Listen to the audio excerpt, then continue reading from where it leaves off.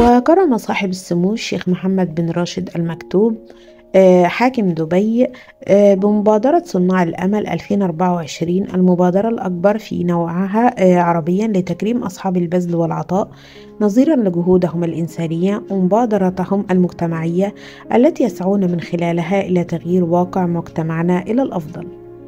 وقد كرم سموه تالا الخليل الفائز بالمركز الأول بلقب صناع الأمل.